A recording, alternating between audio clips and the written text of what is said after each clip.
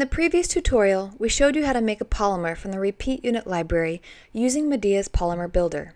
In this tutorial, we will show you how to make a customized repeat unit, which is not in the repeat unit library, so that you can make a customized polymer.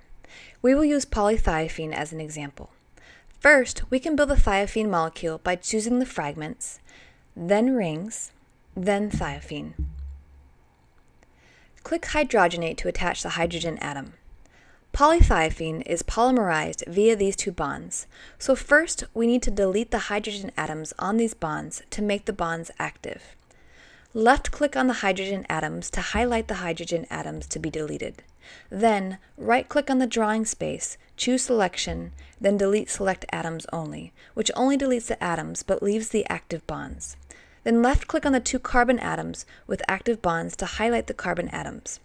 Then right-click on the drawing space, choose Selection, then define Repeat Unit, which will define these two active bonds as monomer repeat unit bonds. Next, we will bring up the Polymer Builder by clicking Builders and then Polymers. Under the Repeat Unit, click Add to get the repeat unit from a window in MedeA. Click OK to close this dialog. We can apply more settings with this arrow. Click OK to build the polymer. And here is a polythiophene we just made from our customized thiophene monomer.